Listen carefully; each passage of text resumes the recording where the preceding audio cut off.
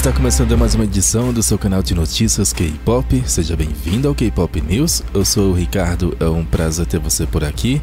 E vamos começar a edição de hoje falando aí sobre uma polêmica que sempre envolve os fãs. Geralmente ocorre uma discussão entre os fãs em que eles sempre falam sobre a melhor música do seu grupo favorito e para atacar às vezes tal grupo, eles falam: "Ai, mas seu grupo não tem nenhuma música de sucesso". E aí surgiu algumas críticas sobre o grupo ATEEZ, onde se perguntam por que eles não têm uma música de sucesso.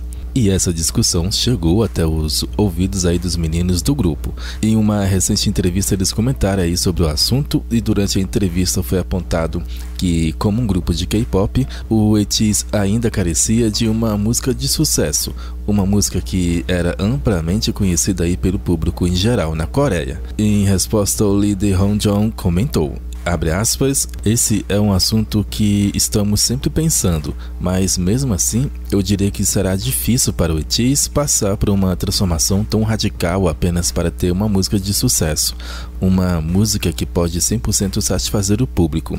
Queremos manter o quadro que é o ETIS enquanto buscamos músicas que conquistem a empatia de muitos ouvintes ao redor do mundo. Fecha aspas. E não foi só ele que comentou sobre o assunto não. O Sam também comentou, abre aspas, atrair o público em geral é um dilema constante para nós. Mas isso é porque fazemos música do ATEEZ. Então acho que se continuarmos seguimos em frente neste caminho que decidimos seguir, algum dia as pessoas podem começar a notar nós. Fecha aspas. Tá aí a opinião do grupo sobre ter uma música de sucesso e isso é muito relativo, né? Porque às vezes uma música pode ser excelente para você, mas para outra pessoa não.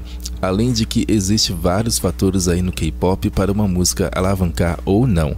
E uma delas é a rivalidade dos fãs no meio K-pop, que isso é notável e todo mundo sabe. E isso às vezes pode atrapalhar sim a divulgação de uma música.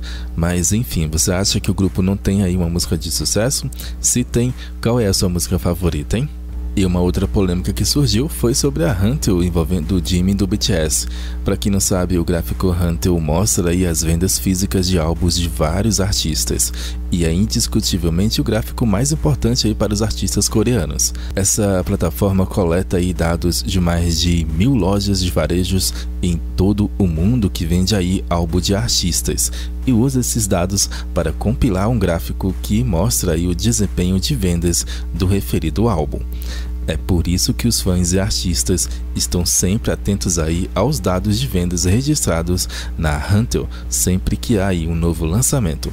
O Jimmy lançou seu primeiro álbum solo Face no dia 24 de março e como Jimmy tem toda sua fama mundialmente, todos os olhos estavam voltados aí neste gráfico para ver aí o desempenho de seu primeiro álbum solo. Tudo estava indo muito bem com o lançamento até que algo inesperado aconteceu, o que tem causado aí grande insatisfação dos fãs. O gráfico da Hanto atualizou as vendas sem problemas nenhum por um tempo desde as 13 horas local, quando o álbum foi lançado oficialmente. E quando deu 5 horas de lançamento, o número de vendas mostrada pela Hunter mostrava aí um milhão de cópias, tornando Jimmy o solista mais vendido e o primeiro e único artista a vender mais de um milhão de cópias no primeiro dia da história da Hunter. Então, de repente, o número de vendas parou aí de mostrar qualquer movimento e o gráfico parecia ter sido congelado na versão do aplicativo.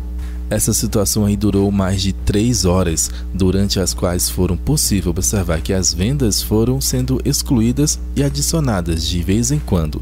A versão da web que mostra aí o aumento de vendas por hora mostrou que Jimmy havia acumulado aí quase o dobro de valor de vendas mostrado no aplicativo. O que foi ainda mais estranho é que esse problema parecia estar afetando apenas os números do idol e não de outros artistas. A plataforma então soltou uma nota durante o início dessa confusão e falou que não tinha nenhum erro em que o sistema pudesse esconder os números reais em tempo real no site.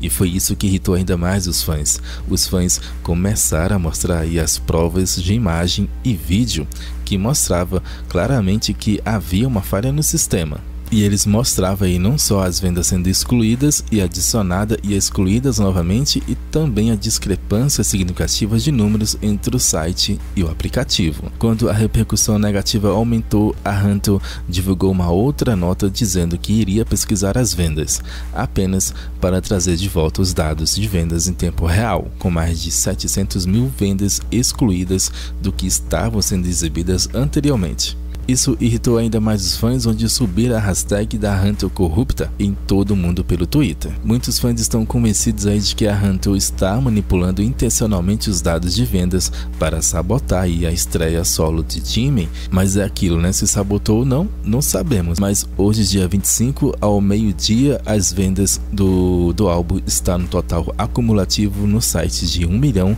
21.532 álbuns vendidos.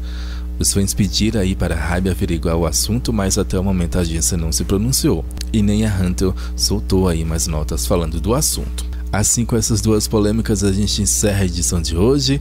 Mas antes, se inscreva aí em nosso canal, curta nosso vídeo.